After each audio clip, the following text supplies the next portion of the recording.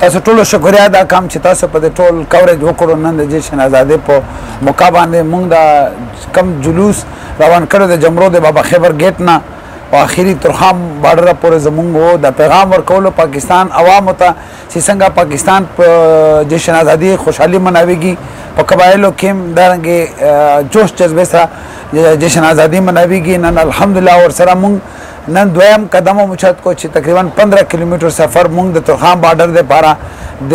یواز یواز یا اواز د جوړېدو د پاره یا اواز کې دوه د پاره ټولو قبایلو پیدل هغه کو سره نن دی یوم کشمیر یک جهتی مناو چې څنګه مخکې کشمیر کې د قبایلو کردار پاتې شوی دی هغه د ازادي کې جدوجہد کړی دی نن هغه د موږ د جشن ازادي سره ور سره د یوم کشمیر آزاد یکجهتي مناو چې مقبوضه کشمیر به جوړیږي پاکستان کا خیری او عوامو مسایل خو ډیر زیات دي دا کې خو شک نشته خو زه په خپل علاقې باندې بیا د نور سیمو نه بهتري ګڼم لحاظ باندې د ډیولپمنٹ کې چې څومره حقوق ته مخکې مونږ وخت کې ټینور کې د مشر جی د حاجی صیب په ایم این ای په دور کې تقریبا هغه رائټس مون قبایلو له راوړی مو خو چې کم کمای ځای ته دی اوس په صوبې اسمبلی کې کم منتخب نمائندګان دي د اواز به ډیر په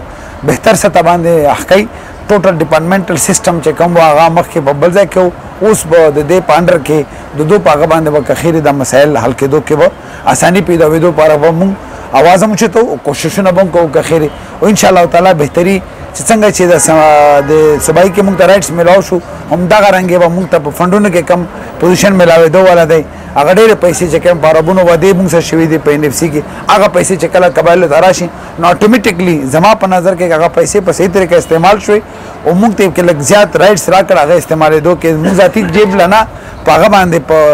هغه په ایډمنسټریشن لیول کې یا په هغه کې احتساب لیول کې یا هغه په د د ایډمنسټریشن لیول کې په هر لیول کې چې هغه کې به مونږ کخيري واچینګ سیستم بهتر کوو هغه کې به مونږ د د ترقی کې کم کارونه کې کم وخت کې زموږ تاسو سیستم کې کمزورتیا روان ټینګ کې زره نه وینم امید قبایل به کخيري د نور سیمه بهتري کې را درمه ډېر اهم سوال دی زموږ ټولو قبایلو ځوانانو دا یو ضرورت هم دی د روان دور کې هغه لپاره دا پکاره چې زر ته زر به حل شي مونږ خپل لیول کړي خو یو شی به تاسو لیدلې وي چې په ټول فاټا کې د نتورکینګ سیستم بهتر شو په دې کې ډېر غټه پیسې رااله او الله په فضل د پارټي کمیټې کې هم په ریکارډ خبرې دی هغه مونږ ټول ارنجمنټ وشو په یوسف کې فندینګ راغی ترکیب رااله په نن په تیرا کې موبایل کار کوي په وزیرستان کې هم کار کوي هغه سیمه کې چې په قبایلو کې بنو ټولو کې کار کوي اوس تری چې خبره کمه پاتې ده دا یو د ایشو دا د یو قبایلو د ان شاء الله تعالی دا ایشو به دومره نور نه پاتې کیږي زر تر زر به کې خیر خدای پاک حال کوي او د دې आवाज به مونږ خیر په لوکل سطح باندې و په اسمبلی کې به دا کسان مونږ کنده غوښته کې خیر ممبران صاحبان بیا خاص کر د خپل مشانو دی د جمرود نه ونسه د لنډي کوتل لا پورې تر خامه پورې کوم سپینګیرو زموږ سره په دې یوم کشمیر یوم ازادي کې د شرکت وکړو په ګرمۍ او هغه ته ونه کتل موږ د خپل خپل مشانو د کشانو ډېر شکر ادا کوو تاسو په ذریعہ باندې ډېر مننه